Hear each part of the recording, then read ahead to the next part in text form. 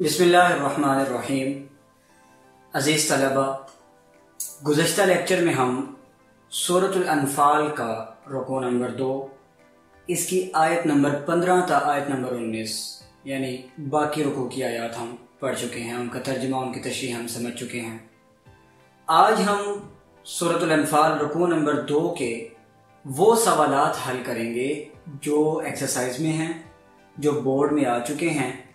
या बोर्ड में आने के इम्कान हैं। तो सबसे पहला सवाल जो बोर्ड में आपसे पूछा जा सकता है, जो आपकी एक्सरसाइज में भी मौजूद है, वो ये है, सूरतुल अनफाल में गजवा बदर के हवाले से अल्लाह ताला के किन इनामात का ज़िक्र है? तो इसका जवाब रुको नंबर दो की पहली आयत में हम पढ़ चुके, इरशाद बारी ताला है इस योगशी को मुन्नवासा अमनतन।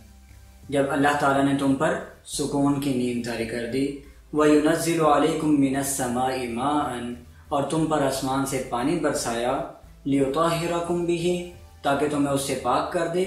व युजहिबान कुम रिज शैतान, और तुमसे शैतानी निजात को दूर कर दे। वलियर बिताकुलूबिकुम तुम्हारे दिलों को मज़बूत कर दे। वही सब बिता बिल अकदाम, तुम्हारे पाँव को जमा दे। इज़ यूही रब्बुका इलल मलाइकति अन्नी माकुम फसब्बितुल्लज़ीना आमनु सउल की फ़ी क़ुलूबिल्लज़ीना कफ़रुर्रुअब फज़रिबू फ़ौकल आनाकि वज़रिबू मिनहुम कुल्ल बनान तो अल्लाह ताला ने फरिश्तों को हुक्म दिया था कि आप मोमिनीन को तसल्ली दो उनकी मदद करो और मैं काफरों के दिलों में रोब डाल दूँगा तो ये इनामात अल्लाह ताला ने मोमिनीन के लिए गजवा बदर के हवाले से नाजिल किए थे पहला इनाम अल्लाह ताला ने मोमिनीन पर सुकून के नींद तारी कर दी दूसरा इनाम मोमिन पर आसमान से पानी बरसाया। तीसरा इनाम मोमिन को पाक कर दिया। चौथा इनाम मोमिन से शैतानी निजात को दूर कर दिया। पांचवा इनाम मोमिन के पाँव जमा दिए। छठा इनाम मोमिन के दिलों को मज़बूत कर दिया। सातवां इनाम अल्लाह ताला ने फरिश्ते मुसलमानों की मदद के लिए भेजे। और आठवां इनाम अल्लाह ताला ने कुफार के दिल में हैबत डाल दी रोब डाल दिया या खौफ डाल दिया। सवाल नंबर दो। कुफार के साथ मुकाबले की सूरत में अल्लाह ताला ने मुसलमानों को क्या हिदायत दी हैं? तो इसका जवाब है कि अल्लाह ताला का इरशाद है, या अयुहल्लदीना आमनु, इज़ा लकीतुमुल्लदीना कफरू ज़हफन, फला तुवल्लुहुमुल यानी, ए ईमान वालो, जब तुम्हारा कुफार से मुकाबला हो मैदान जंग में या लश्कर कशी की सूरत में तो उनसे पीठ फेर कर मत भागना। फिर आपसे पूछा जा सकता है कि वो कौन सी दो सूरतें हैं या किन दो सूरतों में मैदान जंग से पीठ फेरना जायज़ है या कुफार से पीठ फेरना जायज़ है।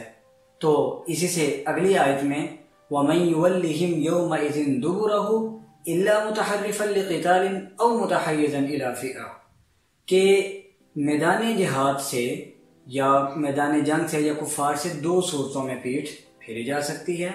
अल्ला मतहरफ़ल यानी जंगी हमत अमली के तौर पर अव मतहज़न इलाफ़ियातिन या अपने लश्कर से जा मिलने के सूरत में।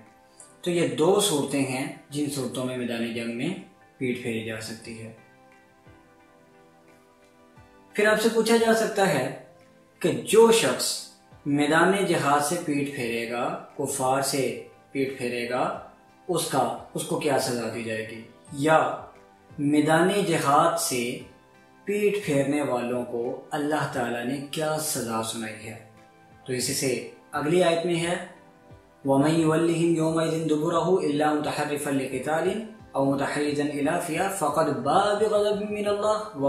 जहन्नम व बि'सल के जो जंगी हमत अमली की सूरत में, या अपने लश्कर से जा मिलने के अलावा मैदान जहाज़ से पीठ फेरेगा, वो अल्लाह के गज़ब में गिरफ़्तार हो जाएगा। उसका ठिकाना जहन्नुम है, वह भी सल मसीर और वो बहुत ही बुरी जगह है।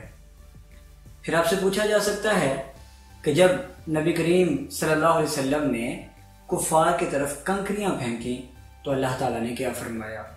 तो इसका जवाब है कि जब नबी करीम सल्लल्लाहु अलैहि वसल्लम ने कुफ़ार की तरफ़ कंकरियाँ फेंकी तो अल्लाह ताला ने फरमाया, वमा रमईता इद रमईता वलाकिन अल्लाह रमा. यानी, वो कंकरियाँ हकीकत में आपने नहीं फेंकी थी, बल्कि वो अल्लाह ताला ने फेंकी थी। आपसे सवाल पूछा जा सकता है कि कुफार को मुखातब करते हुए सूरतुल अनफाल की इन आयात में अल्लाह ताला ने क्या तंबीह की है?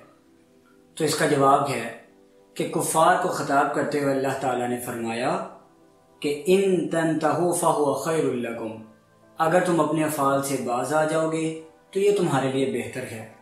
व इन तउदु नउद और अगर तुम सरकशी करोगे, हद से तजावुज करोगे तो हम भी हद से तजावुज करेंगे। वलन तुगनियानकुम फ़ियतकुम शैअम वलौ कसरत। व अन्नल्लाह और तुम्हारा लश्कर ख्वा कितना ही बड़ा क्यों ना हो वो तुम्हारे कुछ काम नहीं आएगा और अल्लाह मोमिन के साथ है। फिर आपसे पूछा जा सकता है कि सूरतुल अनफाल के मुताबिक कुफार को सजा क्यों दी गई? तो इसका जवाब हम गुजशत लेक्चर में पढ़ चुके हैं कि कभी शाकुल्लाह व रसूला, चूँकि उन्होंने अल्लाह और उसके रसूल सल्लल्लाहु अलैहि वसल्लम की मुखालफत की थी वमई युशाक व रसूल फ़ैन शदीद तो जो शख्स अल्लाह और उसके रसूल सल्लल्लाहु अलैहि वसल्लम की मुखालफत करता है तो अल्लाह भी सख्त अजाब देने वाला है। तो उनको इस वजह से सजा दी गई कि उन्होंने अल्लाह ताला और उसके रसूल सल्लल्लाहु अलैहि वसल्लम की मुखालफत की थी।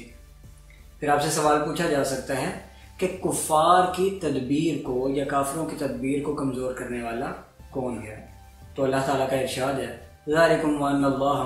कई दिल काफिरीन के कुफार की तदाबीर को कमज़ोर करने वाला अल्लाह ताला है। आपकी एक्सरसाइज में कुछ आयात का मफहूम भी पूछा गया है तो हम उन आयात का मफहूम भी पढ़ेंगे। पहली आयत मुबारक है, या युहल्लदीन आमनु इज़ा लकीतुमुल्लदीन कफरू ज़हफन फला अदबार।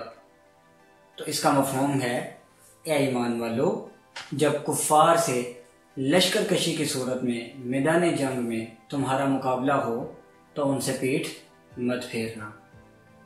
दूसरी आयत मुबारक, वमा रमईता इज़ रमईता वला रमा। तो इसका तर्जमा है, वमा रमईता आपने नहीं फेंकी, कंकरियाँ आपने नहीं फेंकी, इज़ रमईता जब आपने फेंकी। जब कंकरियाँ आपने फेंकी तो दर हकीकत आपने नहीं फेंकी वला कि बल्कि वो अल्लाह ने फेंकी। तो इसका मफहम है कि जब आपने कंकरियाँ फेंकी तो वो दर हकीकत आपने नहीं, बल्कि अल्लाह ताला ने फेंकी थी। और तीसरी आयत, जिसका मफहम पूछा गया है, वो ये है, वलन तुम फ़ियतुकुम शैअन वलव का सूरत तो इसका मफहम, इसका तर्जमा यूँ है कि वलन तुगनिया, तुम्हारे काम ना आएगा वलन तुम तुम्हारे कुछ काम ना आएगा। फ़ियतुकुम, तुम्हारा लश्कर शे अन ज़रा भी, वलव का सूरत अगरचे वो बहुत ज़्यादा हो। तुम्हारा लश्कर अगरचे बहुत ज़्यादा हो, वो तुम्हारे कुछ काम ना आएगा। इस लेक्चर में हम सूरतुलनफाल रुकू नंबर दो के एक्सरसाइज के सवाल और वो सवाल जो बोर्ड के इम्तहान में पूछे जा चुके हैं या पूछे जाने के इम्कान हैं वो हम पढ़ चुके हैं। इनशाला अगले लेक्चर में हम सूरत अनफाल रकू नंबर तीन का तर्जमा और उसकी तशरी समझने की कोशिश करेंगे। तब तक के लिए अल्लाह हाफिज़।